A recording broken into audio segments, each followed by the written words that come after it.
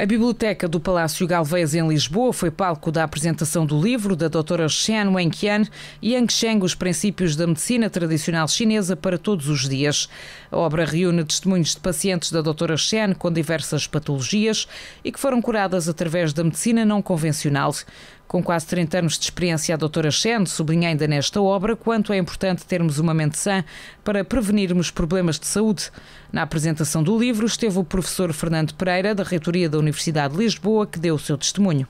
Bom, foi através da doutora Chen, precisamente, ehm, que eu, eh, por em vários momentos tive problemas mais do foro digestivo, digamos. Eu tenho umas digestões normalmente um bocadinho difíceis. E a doutora Chen eh, rapidamente percebeu qual era o problema e não só me receitou alguns comprimidos que resultavam, mas sobretudo fazia as sessões de acupuntura nas quais eu me sentia muitíssimo bem e realmente esses problemas começaram a passar rapidamente. Com vários problemas de saúde, Ana Duarte encontrou na medicina tradicional chinesa a resposta para as suas patologias. Ana Duarte é paciente da doutora Chen há mais de 23 anos e tenciona continuar com os tratamentos até ao final da sua vida. Eu contratei a doutora Chen e fui tratando sistematicamente de vários problemas de saúde através da acupuntura, de ervas e de comprimidos. Segundo o conselheiro político da Embaixada da China em Portugal, a medicina tradicional chinesa tem vindo a crescer exponencialmente no nosso país. Xugida avança ainda com uma novidade. Em breve vai abrir um centro cultural da China em Portugal. Uma mente sã, calma e tranquilidade contribuem para uma saúde plena.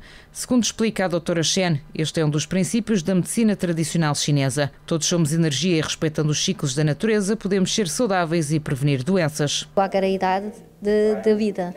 Entretanto, não é só uma curativo, que ela é a prevenção. Na parte da prevenção, que eu estava a dizer um bocado só para o que é que o meu livro escreveu, não é? Para a prevenção, uma das partes é corresponder à energia da natureza, é corresponder é o que é que podemos fazer, a TV fazer e a comer na primavera, no, é diferente no verão, verão é diferente no outono, outono é diferente do inverno, um bocado que expliquei, não é? Todas as fases é diferentes porque a energia tem um, uh, fases diferentes das subidas, a expansão, não é?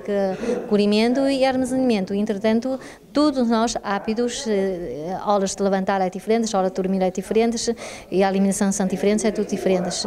E esta parte já ajuda, não é? Que ajuda nós a corresponder esta lei de natureza, não é? Que, que diferentes fases de energia da natureza e nós corresponder assim já evita muita doença. Yang Sheng, Os Princípios da Medicina Tradicional Chinesa para Todos os Dias, foi o livro da doutora Shen, apresentado na Biblioteca do Palácio Galvez, em Lisboa.